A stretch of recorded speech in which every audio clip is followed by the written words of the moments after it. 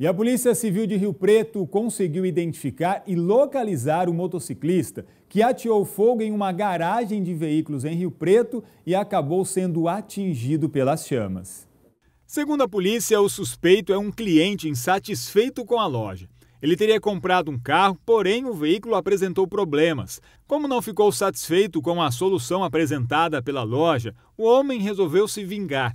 As imagens de câmeras de segurança mostram o momento em que ele chega ao local. Ele tira da sacola um objeto que aparenta ser uma garrafa com produto inflamável. Em seguida, joga no interior da loja. Mas as chamas voltam e atingem a própria roupa e parte da moto. O homem usa as mãos para tentar apagar o fogo e depois foge ainda com a traseira da moto pegando fogo. O pequeno incêndio logo foi contido pelos vizinhos. Segundo funcionários do local, apenas dois carros tiveram pequenos danos. E a moto foi apreendida para a perícia e o suspeito foi formalmente ouvido e liberado. Mas ele vai responder pelo crime de incêndio. Se for condenado, pode pegar de 3 a 6 anos de prisão.